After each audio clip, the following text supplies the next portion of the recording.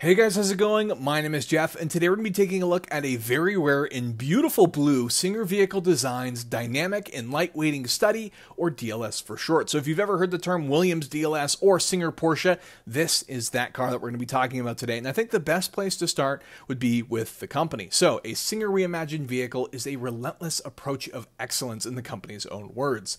So Singer restores and reimagines air-cooled Porsche 911s from the 964 generation, or more specifically 19 1989 to 1994.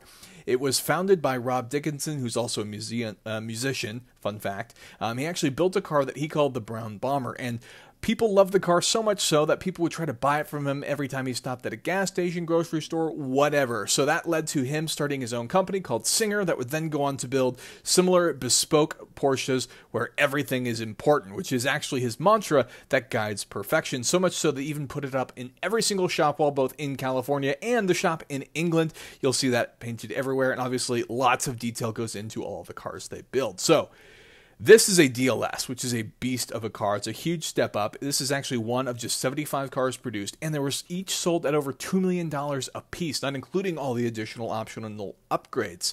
Now, power comes from a Williams Advanced Engineering, yes, a Formula One fame, with input from Porsche engineer Hans Mezger, of course, famous for creating a bulletproof dry sump flat six. This one is a bored out 4 liter flat six, producing 493 horsepower and capable of revving over 9,000 RPM and mated to a six speed manual transmission with magnesium casings.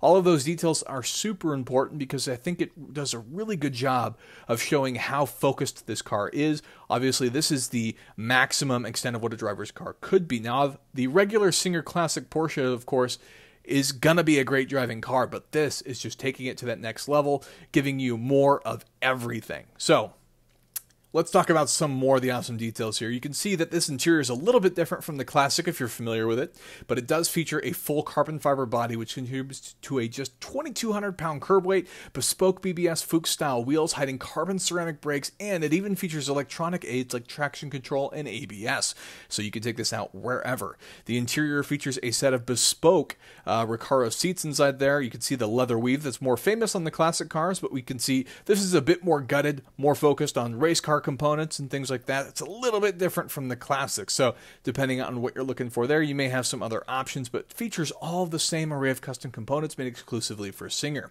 Every Singer vehicle design Porsche has a unique spec, and Singer will even go above and beyond for the right price. As with making this video, all of the Singer Classic and DLS cars, they built about 450 classics, and like I said earlier, 75 DLS cars are actually spoken for, and the only car available are the Turbo Study cars, which look fantastic if you've never seen them. So that's it. If you are curious and want to learn more about Singer, I strongly encourage you to go and check out some of the other resources. But that's going to be the end of this video. If you'd enjoyed it and could hit that like button for me, I'd really appreciate it. And consider subscribing for more content like this in the future. Thanks so much for watching.